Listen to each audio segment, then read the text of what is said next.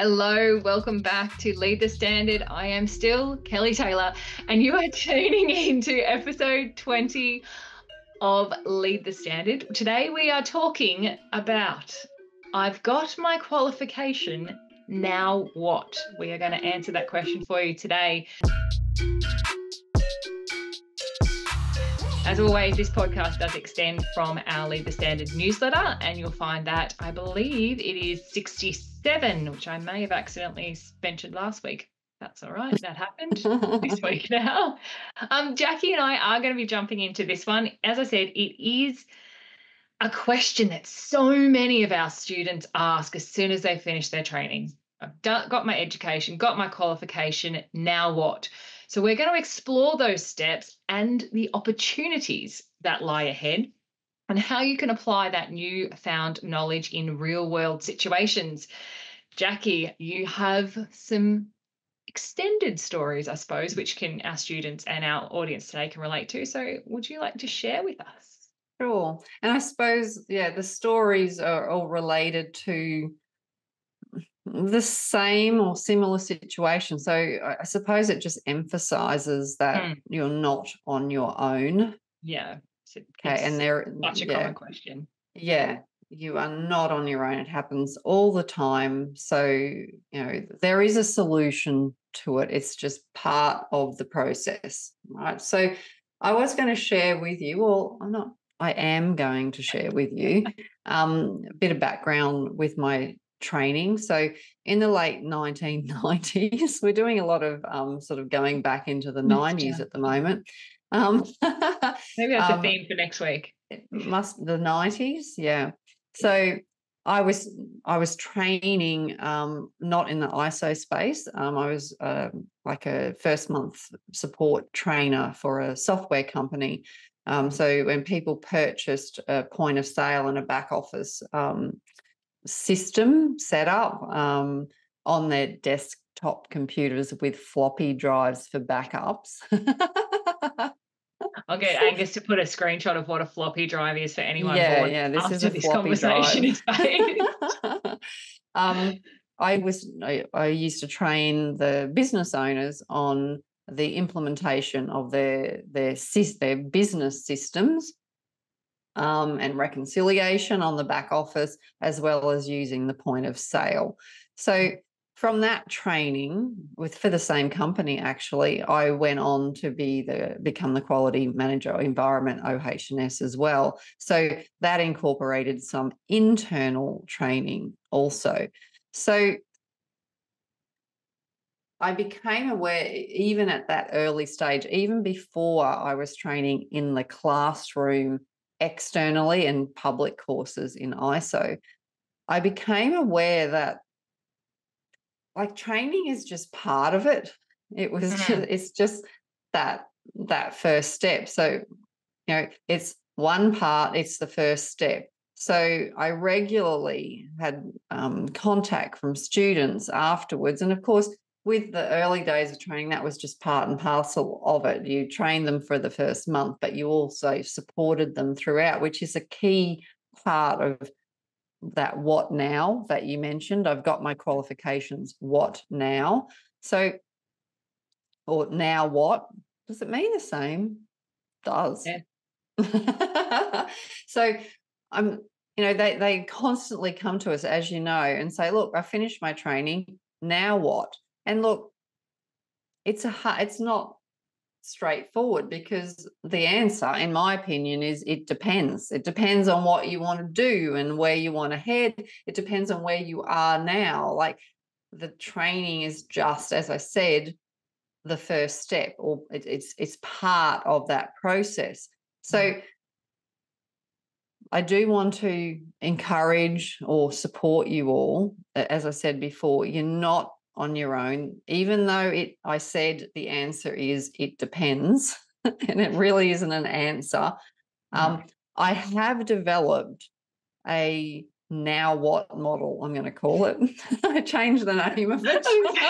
It's a very fancy name for that one. now what model. It means it means yeah it, it has more meaning what? to it i i will share my official name for it but i like the now what model better Before I move on and Kelly and I share the now what model,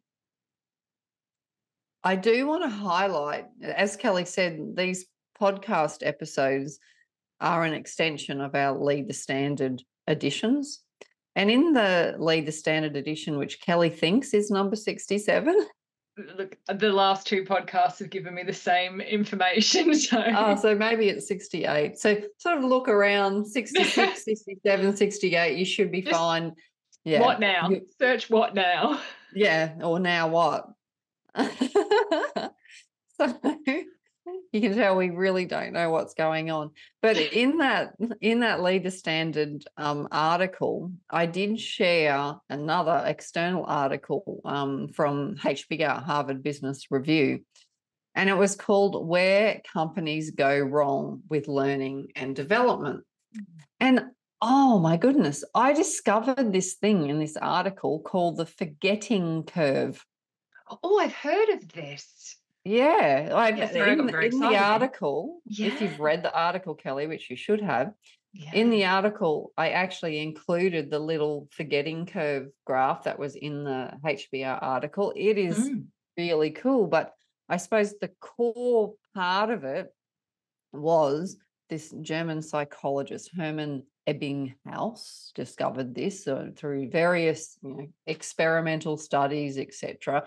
Mhm. Um, that he found that if new information isn't applied, there's the key word, Mm. we will forget about 75% of it after just six days. Mm. What is going on there? Like, that is mind blowing. So, we do all of this training, but if we don't start applying it, after six days, we're going to forget 75% of it. It's like, that is super scary. Mm. Mm. And that goes in line with, I know on a previous episode, you and I, Kelly, have talked about application and Yeah. always needing, um, we talked about mentors because those mentors use it and apply it every day over a, lot of people. They don't forget it as much. And I Mm. used my example, I think last week with my business coach. I was having a challenge that I raised in our session. And I knew I'd already heard and read what her answer was, but I'd forgotten about it. Mm. So, and that's okay. That's why I have her to remind me. But but you're right. Like last week, we were talking about how education is the foundation, and and this is the same thing. Mhm. Okay, build the found building a house. You can build your foundations, but if you don't build the walls pretty Yeah, soon, your it's foundation just, useless. yeah, absolutely. So when I read that, I thought, oh my goodness, that's like mind blowing. I would never have thought that 75% you'll lose only after six days. And there Mhm. were other stats in there that talked about um, that only 12% of employees, 12% of employees apply their new skills that they learn through any learning and development programs. But only 12% apply it. Yeah. Like that's, That's a yeah, lot of wastage in so many ways. Yeah. Exactly. And that's why the question of now what or what now is so important because. Really we we don't want you to forget. No. We know you're not going to remember absolutely everything, but we don't want we want you we want to increase that 12% obviously. Mm. Okay, we need we need the the application of what you're learning and to to increase so you can it is beneficial so you can take it away and apply it so that's where the now what model comes in which i've just renamed. So i know kelly likes me to give a short answer so i'll try now. So the iso application growth model or maybe as i said i might call it the what now or the now what model because it makes more sense. It holds centrally the application of the training knowledge and then it shows the three three results or benefits of that application. So it could be just enhancing your current role. It could be transitioning to consulting or you know working for yourself, or it could be pursuing sort of uh, external certification auditing. You can see that application of knowledge drives those other areas. But the key driver of this application, though, whether you're working within an organization as an employee, offering, you know, uh, going externally through consulting or auditing, the foundation is the same. So it's just effective application of the ISO standards that you have learned. So having this approach, not only helps you, I suppose, obtain those practic that practical knowledge or insights into how ISO standards can be applied, but it gives you some sort of what's the word? It gives you that knowledge, ownership to make improvements within the business that you are working for within the system. So by mapping these processes against ISO clauses, you can visualize more how you apply that theory into everyday operations of the business, into mm. practice. Yeah. Before you move on to getting into how you do that, I just had a, I remember this. This is actually something I learned way back when I first started my career. Um, I worked for a real estate franchise and they were big on education. And one of the things, and I, we we do it here too. It's only that you've mentioned this model that I've remembered the specific um, connection and why we do it. Um, whenever one of us went to training, and we do it here as well, whenever someone goes to training, we here at ATOL have a Monday muster, and we used to do the same thing uh, at that organization as well. But if you went to training or did a PD course, when we had that next meeting, it's good to share some of the key things that you have learnt because it's likely to be within that seven day timeline. But then mm. sharing that those key points or the things that you really got out of that or mm. the things that you're going to implement with others plants the seed for them but also drives it well drives the conversation inspires those people to get on board and will drive them to uh, likely ask you more questions about what you have learned and oh why does why does that happen? What does that mean? And again that reinforces and resets that time clock. Yeah. So again yeah. you're more likely to retain that mm-hmm. information as well. Absolutely. And i know you know businesses probably implement that to make sure that they're getting people some are paying attention. at of out of sending their staff on training, and I get that from the time and money. owner's perspective. Yeah, yeah. But Eh, you're right; it actually helps if that if you, as the person attending that training, have like you have that responsibility when you return back to work, it does make you think, oh, okay, I need really need to take note. What am I taking on board? What can we implement? What are my actions from this training? So how can how can the business benefit from it? Because you're going to naturally benefit from it anyway. Yeah. But um, yeah, that's actually a yeah a really really good um, approach. I have come across a lot of organisations that do that. Mm. Yeah, but again, um, sharing that reinforces it to you and and gets absolutely, absolutely, yeah. Because because you know you're saying it out loud. Yeah. Isn't it funny how when you say things out loud, they make more sense or less sense. Or less sense. That's right. That's right. And that's why it's good to say it out loud yeah. because yeah. then you can figure out, oh, does that actually make sense or not? Now Do what? I really know what now? What I'm talking about. Yeah. Like, yeah.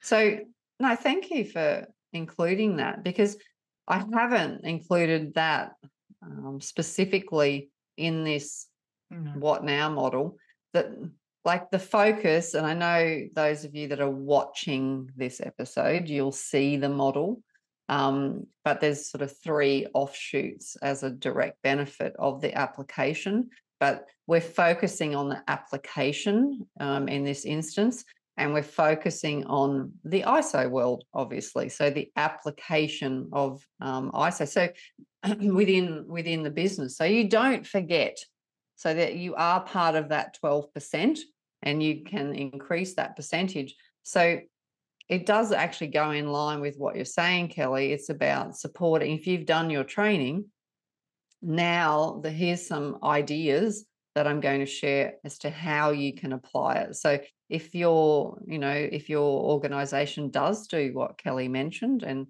you you do have to present and and apply, well, here's some ideas for you to focus on. Right. So there's five different areas. The first focus area to apply your learned knowledge is mapping the business processes to ISO standards. Okay, so the objective of this is to really identify and document all of the key processes within the business that impact or can be affected by the ISO standards that align with it. So align each business process with the relevant ISO clause. So you might have a mapping document for that. And then you can identify any um, existing processes that do match. You'll identify um, process owners of each process as well. So some sort of responsibility. And obviously, ultimately, you'll have that clause identification. So you'll have a breakdown of your ISO standards and the clauses, and they'll map across to your processes. So then the output of that is it's a gap analysis. So you'll be able to then identify where's the gaps, where's the holes. I've got all of these procedures that align with these clauses. Here's the gaps. Okay. And mm-hmm. obviously, those gaps will then create further action. So it's a pretty simple mapping process. I actually think, don't we have a weirdly called template? Yeah. It's called no, we. The ATOL Business Helper. I don't like that Yeah. name. We've got that, but we there. do also have the gap analysis tool as well, which is less weirdly named and probably as equally irrelevant. I like the weirdly named one, the ATOL Business Helper. yeah, because you can just list your procedures like down in that left hand column Mm. and then then map it to the clause Mm, um you know either either or work. I feel the gap analysis is more like an audit you know, because you provide more information which is fine because then you have your action so maybe download both and see what um, suits you best. It might be good to put those links in the notes of this episode kelly. So there's sort of two resources there that you can use to initiate this first um, I suppose, focus area, which is just simply mapping what you know in the business to the ISO standards and clauses. Now, Kelly, because you built both of those resources, is and Mm. without going into too much detail, because I know you include instructions or whatever, do you have anything to add to this first step? No, I think look, is that both of those tools we've tried to make as simple and, and easy to follow as possible, um, because for the most part they are going to be used by people who are at this stage. I've just got my qualification. I'm really excited. I want to apply it. Let me Yeah. start somewhere, and it can be overwhelming to Mm. go too far into that space. So just baby steps, baby steps. Um, but again, they're also designed to be used by somebody who's got no idea here as well, and obviously a bit more context if you've got your qualification. But I think you're right. You've got that understanding or that education, as we said, that foundation um, of the systems or the standards, etc. And now you're beginning to be able to understand and apply that with some context. Yeah. Um, you could definitely do these things before your training, but you'll probably be lacking a bit of context. Yeah. Actually, that would be a really interesting exercise. Actually, do one of these things, do some training, and then redo them and see if you get a different outcome because you have a different understanding and a different interpretation of the requirement. Yeah, I think we've had a lot of feedback over the years of people that have actually commented on that is that Mhm. after they've completed the training, they have a, and I love that word that you use, context, because then Mm. they can go, ah, Uh-huh. that's what it means. Ah, Yeah, it gives them that context. So I do like that addition, Kelly. Thank you. I try. so that's and Kelly will put the link to the tools um, in our podcast notes, whether you're watching it or listening. The um, links will be in there. So the second focus to apply your learned knowledge is create visual process maps. So you can develop like visual representations of how the processes currently work and then where they might intersect with ISO standards. You might do this with the gaps only or for all. This might be a flow chart or diagrams. I'm just saying it needs something that's visual. So Mm. it, you might work visually, others might work visually while while you're doing this you'll also identify those integration points so you'll you can mark those specific points where they cross over in the process and you might find there's multiple links as well because that is the beauty of an ISO standard so there's multiple clauses that that are integrated so you might only need to do something once so those might be where decisions are made I normally find more so that crossover or where things uh, are most likely to fail are where it gets passed from one department Yeah. to the next. Yeah. This to me is really important. And having been the I say having been, I'm I'm in the process of handing these these over to other people, but having been the person responsible for our processes, um, you right there in that there's the one thing to write everything down and there's a, another to do it visually. And it's really apparent as your team grows and evolves, um, the different ways that people learn things. But I do this all of the time whenever I'm creating a a workflow and you absolutely right Jackie the biggest gaps are where a process goes from one team to another particularly where those processes are developed independently so Ah, yes. yeah. So the Mm. customer service team's roles and responsibilities include this, and let's do write out their process. But then the training and assessment team do this, and whoops, there's a gap. Who does the bit between here and here? Does this person hand over to this person, or is this person expected to pick this up, or do they both do that? Sometimes you'll find Yeah. there's a, du- a double up, but I always um, and it's it's a really really simple tool. I open up PowerPoint only because it's got a little bit more flexibility than Word, and I'll use their smart um Mm. their smart charts or smart art and create art. a flow chart um, or an org the, the hierarchy charts. This step leads to this step, which leads to this step, which connects to this step. Look, it doesn't have that exact functionality, but for me, I can see that as a big picture and I can go, okay, yep, this is how that works. Oh, okay, there is a gap here. Or this this needs to connect to this. One thing that I really love and we're working on at the moment um, in our specialist courses is we have those inputs, outputs in a more visual format.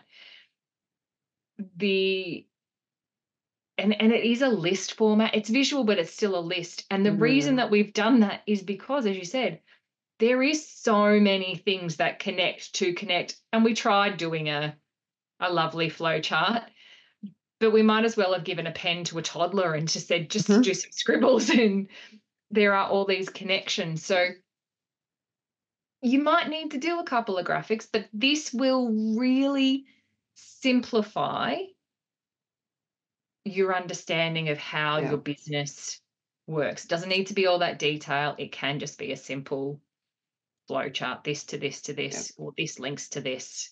Yeah.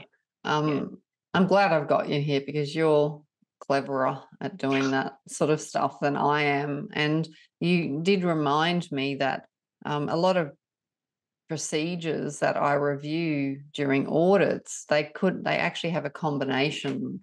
They have like the the process flow of the procedure initially on the first page, and then they document it. So it allows people with different ways of reading or following procedures to use either or or a combination. And as you said, with the process flow, they can have that overarching look at oh the, and it's more so who's responsible now it passes here and now it passes here mm. um, i've also seen it and this is where i've actually found it most beneficial is what do they call it? It's like where the board like boards like swim lanes i think oh, they're yeah. referred to in visio maybe. I used to use visio for this. Um, is visio still around? I think it is. It's a microsoft product. I, but they have those swim lanes, and we used to have in each swim lane the department that was responsible. So then we'd have the process flow. So it might start off in department A, and they might do a couple steps. Then it will move to department B. Then it might come back to A. Then it might go across to C. But visually, you can see the responsibility, and that's by following that sort of visual, um, that's where I learned, as as you confirmed. Normal, normally the failure point is where it changes hands.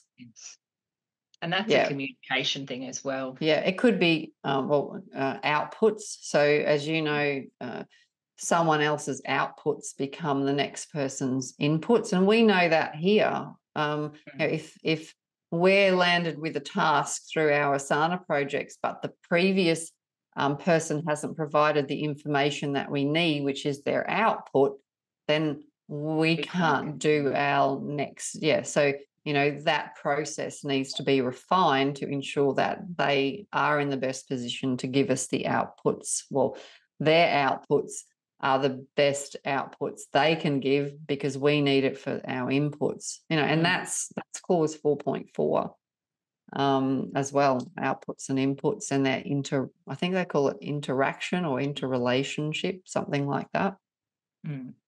So that's a really good way of mapping it out yeah it, it sets clear clear guidelines for everyone mm. um, but mm. also i think opens a bit of opens or creates that opportunity for more open communication because people know who to go to for that information. That's a good point. You would yeah. like to think that it would create a bit more ownership and oh, hang on, I yes. But it it it allows for people to go, okay, I know where to go. I'm not just going to go, I'm going to sit here and wait until the information is hand fed mm. to me. Oh, I need yes. to do my task yesterday. I'll actually go and ask such and yeah. such. All that. Yeah, you yeah, you know who's responsible before and after if needed. Does Asana have this view? I was just thinking. Uh overall in part I, I don't believe so. Um look we we have our our board view. Um mm. they are they are well, I don't want to be an, a, a walking advert for Asana too much. They are wonderful. I love them to death. There are I'm actually look yeah, I thought you now. were looking because yeah. program they have a program which sort yeah. of the timeline yeah they are building things and look at the level we're at we're obviously a small business and i know that there are some exceptional features available to people who are an enterprise that i am oh, tremendously okay. jealous of um, because i'm a little bit of a nerd when it comes to this stuff but yet look the workflow and the boards kind of work, but they're not as as transparent mm. as open as they could be. Mm. Um, we've mm. got calendars, we've got timelines. You can look at different teams and individuals' workloads, but yeah, you it doesn't have yeah. that. So here's an idea. We have not built built a, an Asana project with the boards based on responsibility can I remind everybody that this is a podcast, but um, welcome to I'm, Jackie's Bright Idea Session. this is what happens Well, in my this is- everyday life. No, this is, let's this do is it. where they have. And, and yeah, I'm just putting it out there. Okay, let's I'm do just it. Putting it out there because it might address some of the challenges we're having Yeah. in certain. Yeah. So there's an i there's an idea. I, I was going to go and get my Jackie's Bright idea candle that you gave me, but I'm just putting it out there. So you can see by having a chat to someone, you can come up with different ideas. And it is very visual, which is exactly what Kelly and I have just somehow demonstrated. Audibly. Yes. So you're right then, Kelly. It's great. We're sharing, we're sharing the natural process with people. Yeah, we are. We have our qualifications, and now But it's interesting because you're you're really highlighting exactly what we're talking about uh, earlier. We've we're both Asana ambassadors. We have done all of the Asana training. We're heavily involved in that. I've been on two weeks leave. I did some Asana training before I before I went Mhm. on their new features. I didn't apply it over the two weeks. I'm having to No. refresh my So you've forgotten it now. Well, 75% of it's gone, Yeah. Kelly. yeah. And I'm guessing the older you get, the less you remember. All right, on track, Jackie. On track. okay, okay. I'll move on. I think we did really good with that one. Okay. Sorry. Oh, look at this for a segue. Okay. Oh, it is too. Yeah. So, guess what? The third focus area to apply your learned knowledge is engage with the process owners. So, collaborate with the people who are in charge of each of the processes. So, you know that you're understanding the process um, enough, well enough. You need their input because that's the only way you're going to come up with improvements. So you can either do this in a you know one-on-one environment you could have it in workshops so with all of the process owners for each of the areas of responsibility um, and then once you've identified it you'll just continue to work together to refine and adjust the processes so that you're filling the gaps that you've identified initially. So it drives that continual improvement. It, it, it drives improvement opportunities that others are also a part of and can identify themselves. So look at the the practical application by doing it that way. It's amazing. Mm, mm. And I think, yeah, by engaging the process owners, again, you can share your newfound knowledge with them and how see how they can apply that or how they have applied that themselves, how that can be used to improve the process. And I suppose when we're talking about process owners, by default, I think a lot of us think the person that wrote the process, but the process owner is not necessarily the per- in my mind the process owner is not necessarily the person who wrote the process. It's the person who does it day to day to day. Um Is responsible for it overarching because there could be, as we've discussed, multiple people involved in the process. mm, but there's obviously more than likely uh, someone or a team that's responsible for the overarching. yeah yeah who who are responsible for impl- eh, what's the word? Oh my gosh implementing and actioning that process. Yeah. um because look and i'm going to steal a bit of a regular story that my father tells me. He tells a lot of stories actually he doesn't tell a lot of stories he tells a lot of the same stories a lot of the time on repeat i do love you dad Hi, um, Dad. but, but um, he's retired now he's got some extra time to listen to us um, the one of the stories that he tells he is a former military man um, and he was a very late starter to get into like he was in his I'm going actually he was in his late 30s when he enlisted. So he was not a young guy out of school just doing what he was told and listening and following the rule and I know the Australian um, military is very different to other uh, countries as well, so the the experience will be different. But he was in his late 30s when he joined, so he had a bit of worldly knowledge. Yeah. Having conversations with him recently while I was down there, I'm very aware that my father probably could and should have been an ISO auditor. But it's never um, too late, Kelly. no, well, he is now. He's retired and for his second time.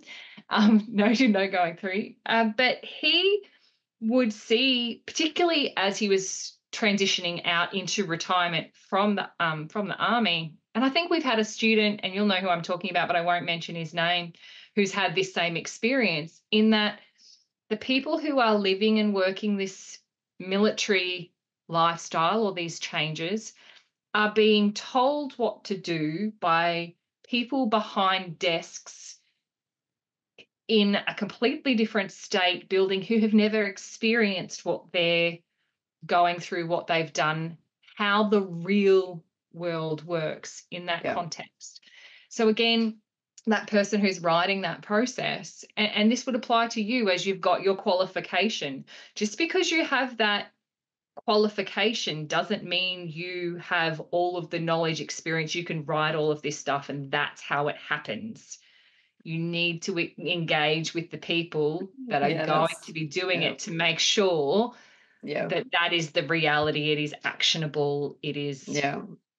it's realistic Yeah, I like that word. That's this is the reality. Yeah, it just doesn't happen. You and and it comes back to people. I think in a previous podcast we talked about that. The people are the biggest challenge, really. yeah You have to get them on board. And so that's where that I suppose focus comes in engaging with the process owners. Like uh, that's one of the principles um, is engagement of people. Mm. So don't forget about that.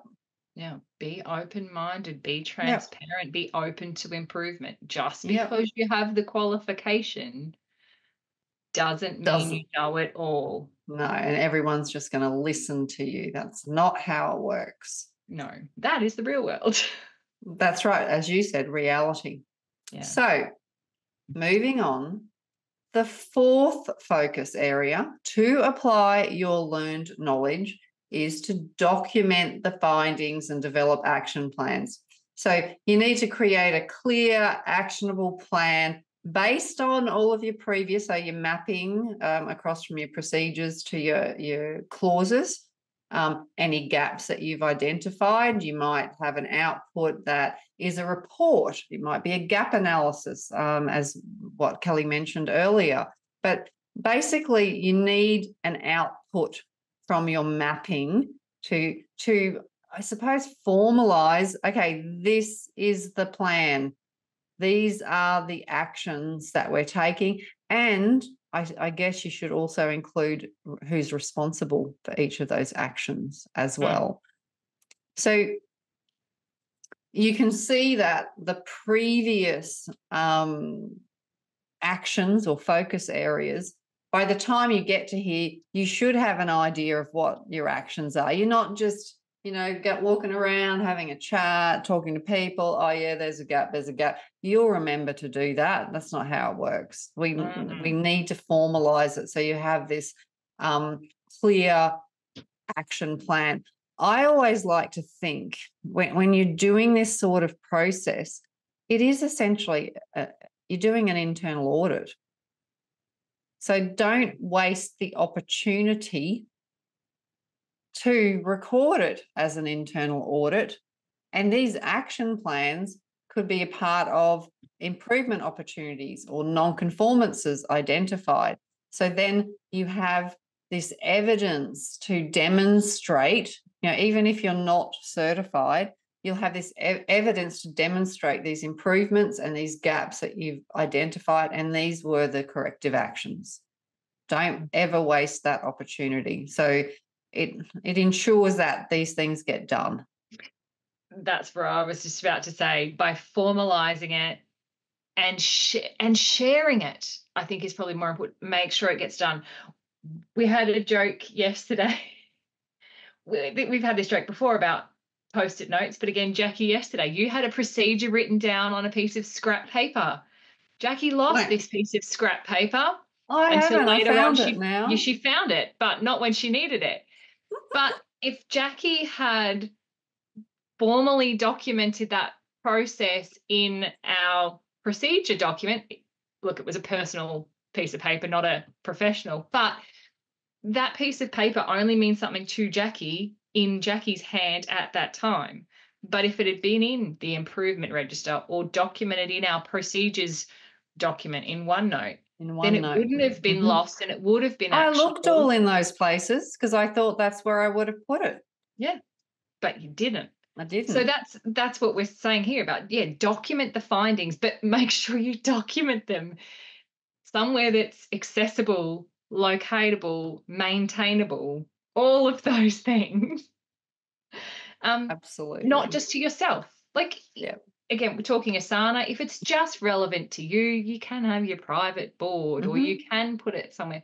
But if if there is just that slightest chance that somebody else is going to benefit from that or may need that again in future, or heaven forbid, we want a promotion and we want to hand over our task to somebody else, if it's there, then it's there. You don't have to hand over or remember all of these things later.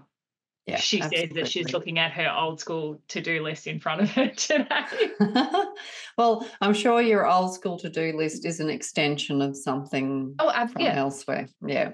yeah. It's my priorities out of my hmm documented, like yeah, my documented to-do list. But yeah, I think that's right.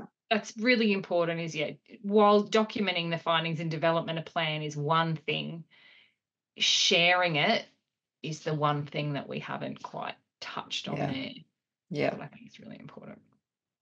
So you'll love the next one, Kelly. and it's the fifth and final focus area. I'm going to say that again because it's like a tongue twister. Oh, wait till you say the last word of the next one. the fifth and final focus area to apply your learned knowledge is all about monitoring and reviewing and providing feedback. So this isn't done once. It's a continual cycle. So you've mapped your processes against the ISO standards. So this is applying your knowledge in the real world. You've involved people in the process. You've documented any actions as an outcome. That's not the end of the story. Okay. You need to continually review. So, and I've mentioned this before, it could be through um, planned audits. So, audits scheduled at different times. It could be feedback loops. So, you could have weekly meetings where you review those actions and see what the status of those um, actions are. You'll be sharing then any updates or documents or any changes that have been made. So, this drives that continual cycle and that continual improvement. Okay. I was going to say you've created a monster, but it's a nice monster. yeah. Oh, it's a friendly monster because this this mapping is something that you will end up continually doing. It's a continual cycle, and this fine this is that final loop that will Mm. help you to by by this time you get here to this stage because remember this is all about applying your knowledge you will know so much more you will have remembered so much more and then this just becomes part of your day constant reinforcement.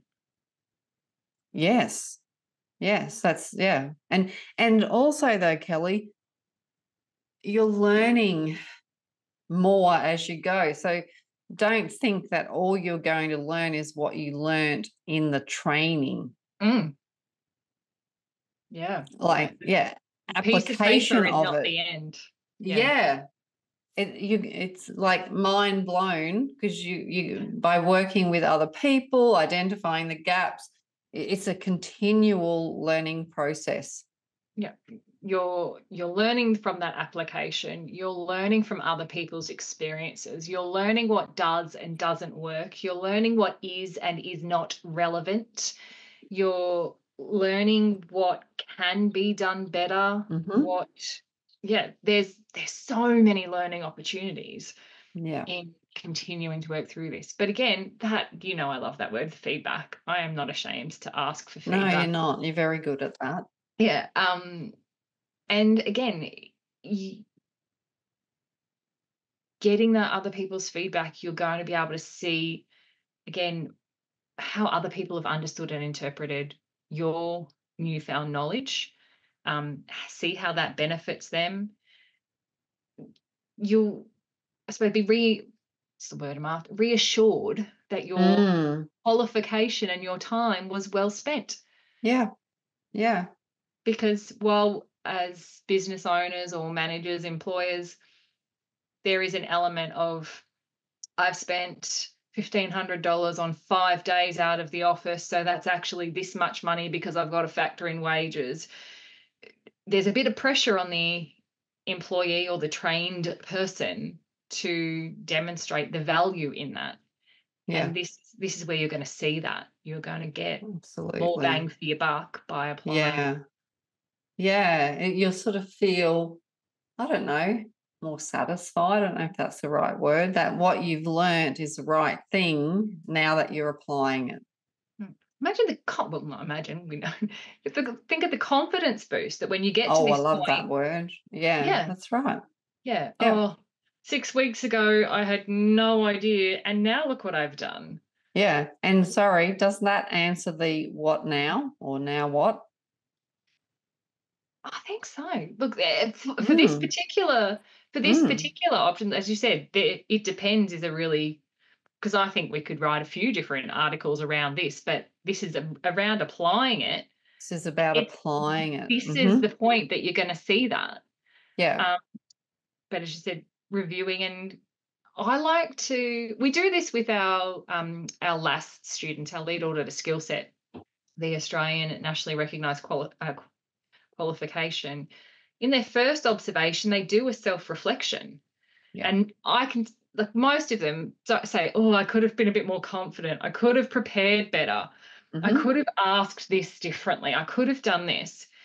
That's their first one. They have a few other workbooks and then they do their next observation. How often is that second reflection? Oh, I prepared much better. Yeah. I I took on board the feedback. Oh, I did like there's chalk and cheese. Yeah. So this is I suppose the equivalent of that seeing where you've come, is. where you're at and then continually Yeah. But they've also gained the confidence in the first one. So they understand now how it works and what's expected of them. So until you do it, you won't find that out. So it's always about just taking that first step. And you can see that your confidence builds from there. And Yeah. I think it's important at this point, if you do get to step five, the monitoring, the reviewing, and things haven't worked out as you Mhm. expected, don't get hung up on that. It's Yeah. just that didn't work in this instance. Yeah. We know that didn't work. Bonus, we've learnt that now.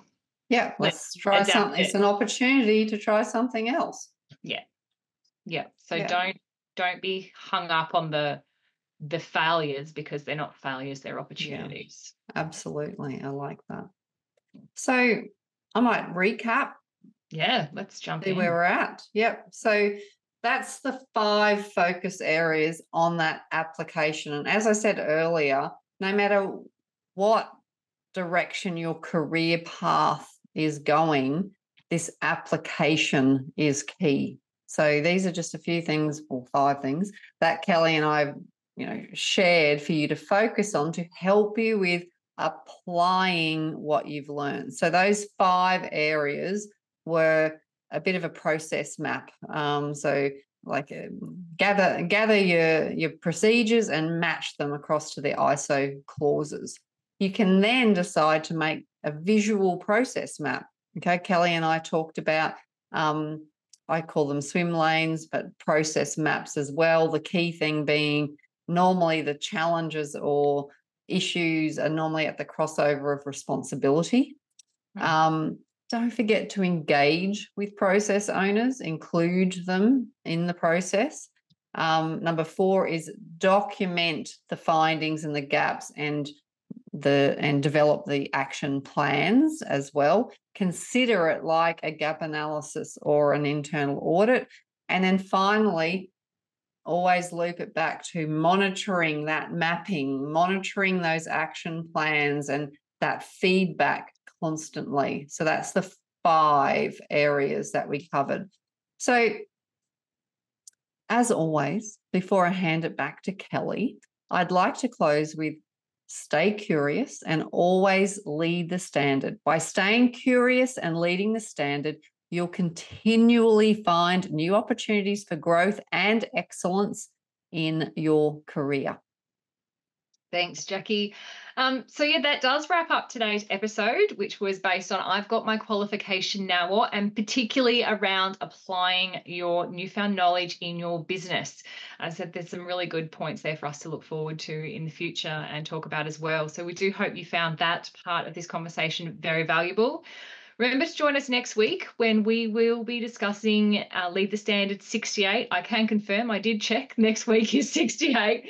Mastering boundaries and how these are the key, or this is the key to your success in auditing and consulting. I think mastering boundaries is the key to success in life, I think. So I'm really looking forward to this one. But as Jackie said, until next time, keep leading the standards and we will see you then. Bye for now. Thanks for joining us once again as we lead the standard. Make sure to subscribe to our podcast for more episodes just like this. And don't forget to leave a review if you found today's episode informative and inspiring. If you're already an ATOL student, remember participating in live Q&A sessions just like this is one of the exclusive perks of your enrolment. And if you're not already a student, Join us at our website www.auditortrainingonline.com to learn more about our courses and how you can start making a difference in your career in ISO management system standards. So join us again next week as we not just meet the standards, but we lead them.